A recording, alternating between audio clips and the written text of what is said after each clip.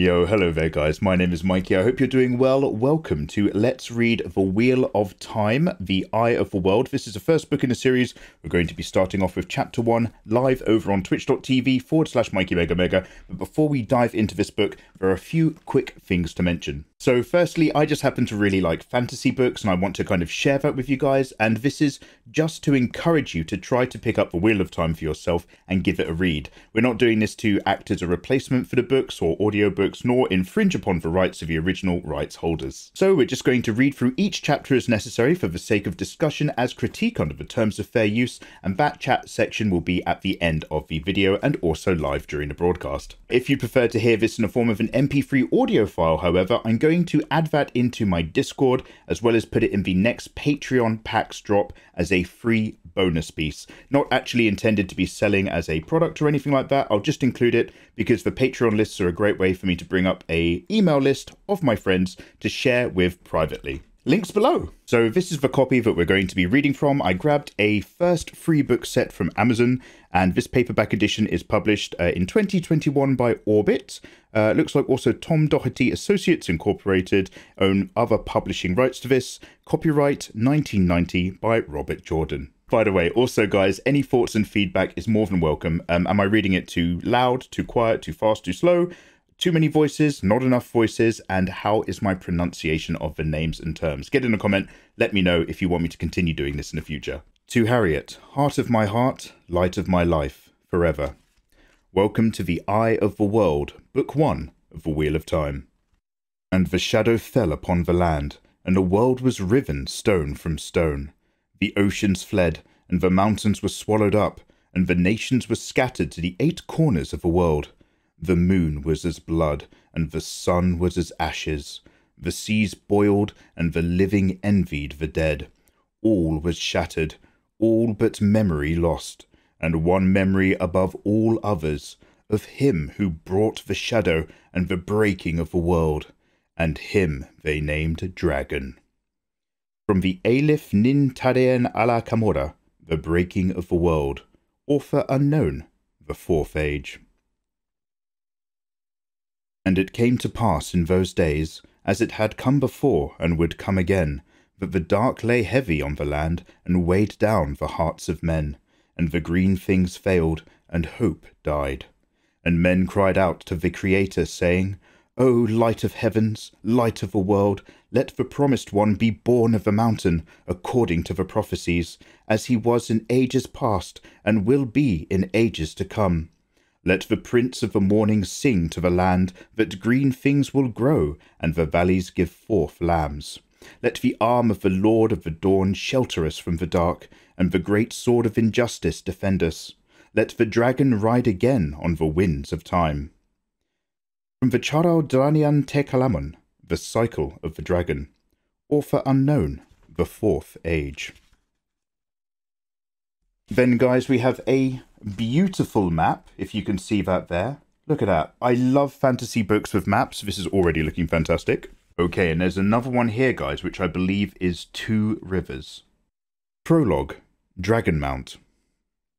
The palace still shook occasionally as the earth rumbled in memory, groaned as if it would deny what happened. Bars of sunlight, cast through the rents in walls, made motes of dust glitter where they yet hung in the air. Scorch marks marred the walls, the floors, the ceilings. Broad black smears crossed the blistered paints and gilt of once bright murals, soot overlaying crumbling friezes of men and animals, which seemed to have attempted to walk before the madness grew quiet. The dead lay everywhere.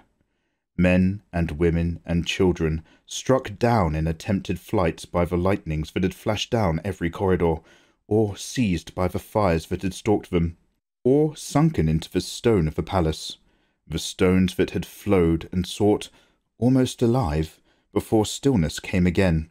In odd counterpoint, the colourful tapestries and paintings, masterworks all, hung undisturbed, except where bulging walls had pushed them awry. Finely carved furnishings, inlaid with ivory and gold, stood untouched, except where rippling floors had toppled them. The mind twisting had struck at the core, ignoring peripheral things. Lews Therin Telamon wandered the palace, deftly keeping his balance where the earth heaved. Ilyena, my love, where are you?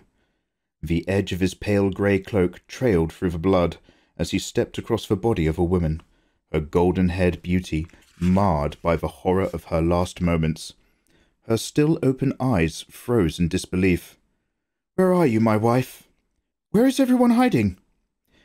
His eyes caught his own reflection in a mirror hanging askew from a bubbled marble. His clothes had been regal once, in grey and scarlet and gold, now the finely woven cloth, brought by merchants from across the world sea, was torn and dirty, thick with the same dust that covered his hair and skin.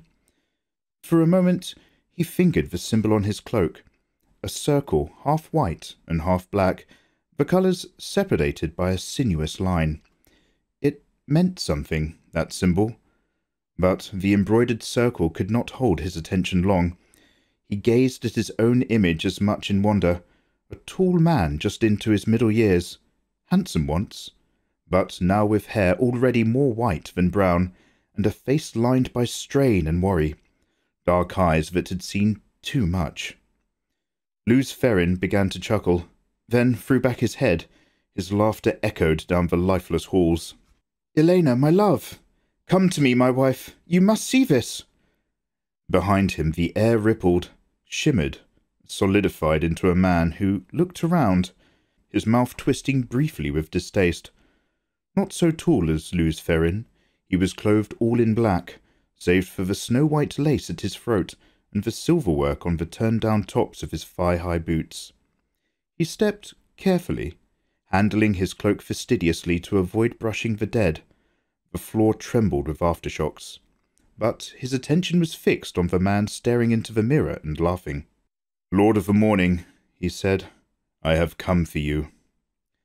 The laughter cut off as if it had never been, and Lews Therin turned, seeming surprised. Ah, a guest. Have you the voice, stranger? It will soon be time for the singing, and here all are welcome to take part. Ilyena, my love, we have a guest. Ilyena, where are you? The black-clad man's eyes widened, darted to the body of the golden-haired woman, then back to Lews Therin. Shai'tan take you, does the taint already have you so far in its grip? That name, Shy. Lews Therin shuddered and raised a hand, as though to ward off something. You mustn't say that name. It's dangerous. So you remember that much at least. Dangerous for you, fool, not for me. What else do you remember? Remember, you light-blinded idiot. I will not let it end with you swaddled in unawareness. Remember. For a moment, Lews Therin stared at his raised hand, fascinated by the patterns of grime. Then he wiped his hand on his even dirtier coat and turned his attention back to the other man. Who are you? What do you want?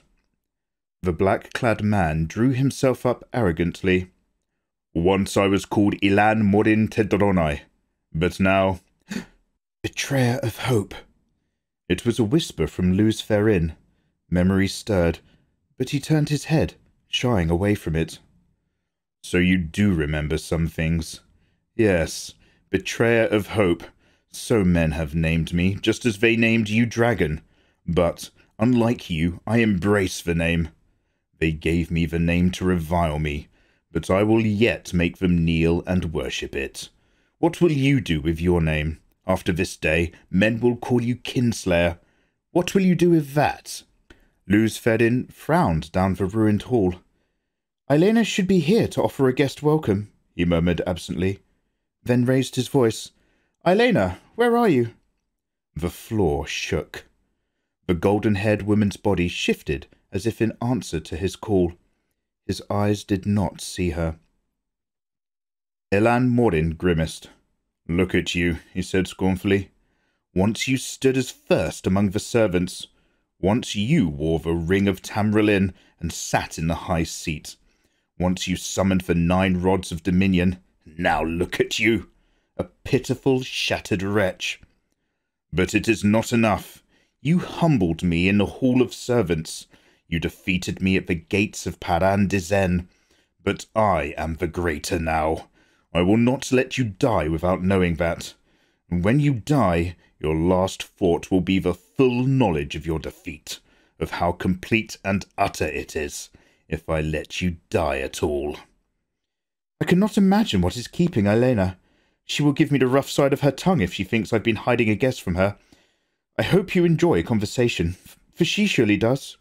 Be forewarned, Ilyena will ask you so many questions, but you may end up telling her everything you know. Tossing back his cloak, Elan Morin flexed his hands.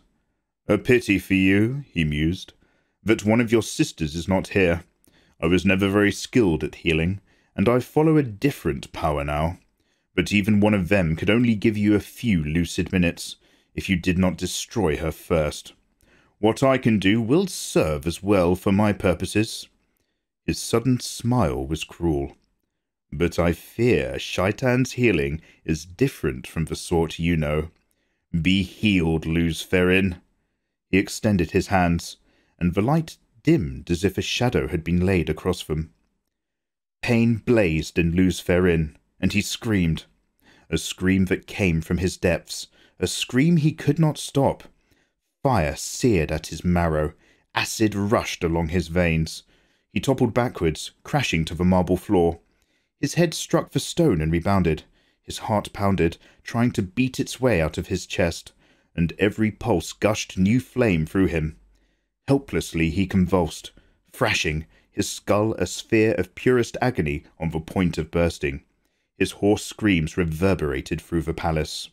Slowly, ever so slowly, the pain receded. The outflowing seemed to take a thousand years, and left him twitching weakly, sucking breath through a raw throat.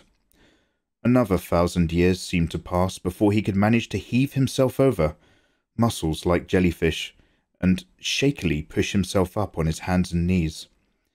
His eyes fell on the golden-haired woman, and the scream that was ripped out of him dwarfed every sound he made before. Tottering, almost falling, he scrabbled brokenly across the floor to her. It took every bit of his strength to pull her up into his arms. His hands shook as he smoothed her hair back from her staring face. Ilyena! Light, help me! Ilyena! His body curved around her protectively, his sobs the full-throated cries of a man who had nothing left to live for. Ilyena, no! No! You can have her back, Kinslayer. The great Lord of the Dark can make her live again, if you will serve him, if you will serve me. Lews Therin raised his head. The black-clad man took an involuntary step back from that gaze. Ten years, betrayer, Lews Therin said softly, the soft sound of steel being bared. Ten years your foul master has wrecked the world, and now this. I will. Ten years, you pitiful fool. This war has not lasted ten years, but since the beginning of time. You and I have fought a thousand battles with the turning of the wheel. A thousand times a thousand, and we will fight until the time dies and the shadow is triumphant. He finished in a shout with a raised fist and it was Lews Therin's turn to pull back, breath catching at the glow of the betrayer's eyes. Carefully, Lews Therin laid Ilyena down, fingers gently brushing her hair. Tears blurred his vision as he stood, but his voice was iced iron. For what else you have done, there can be no forgiveness, betrayer. But for Ilyena's death, I will destroy you beyond anything your master can repair. Prepare to remember, you fool! Remember your futile attack on the great Lord of Dark. Remember his counterstroke. Remember! Even now the hundred companions are tearing the world apart, and every day a hundred men more join them. What hand slew Ilyena Sunhair? Kinslayer? Not mine. Not mine. What hand struck down that very life that bore a drop of your blood? Everyone who loved you, everyone you loved. Not mine, Kinslayer, not mine. Remember, and know the price of opposing Shai'tan. Sudden sweat made tracks down Lews Therin's face, through the dirt and the dust. He remembered, a cloudy memory like a dream of a dream, but he knew it true. His howl beat at the walls, the howl of a man who had discovered his soul damned by his own hand, and he clawed at his face as if to tear away the sight of what he had done. Everywhere he looked, his eyes found the dead. Torn they were, or broken, or burned, or half consumed by stone. Everywhere lay lifeless faces he knew, faces he loved, old servants and friends of his childhood, faithful companions through the long years of battle. And his children, his own sons and daughters, sprawled like broken dolls, play stilled for ever, all slain by his hand. His children's faces accused him, blank eyes asking why, and his tears were no answer. The betrayer's laughter flogged him, drowned out his howls. He could not bear the faces, the pain. He could not bear to remain any longer. Desperately he reached out to the true source, so tainted with saidin, and he travelled.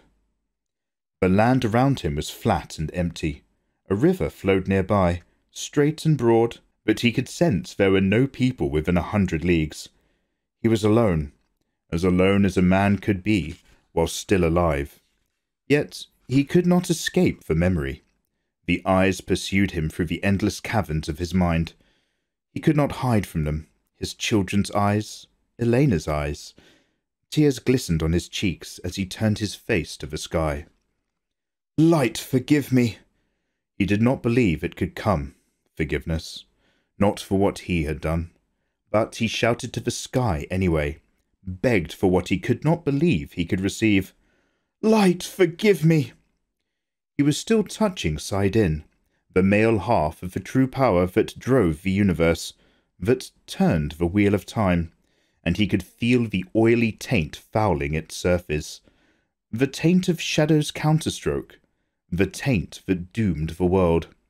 Because of him, because of his pride, he had delivered the men who could match the Creator, could mend what the Creator had made, and they had broken. In his pride he had believed.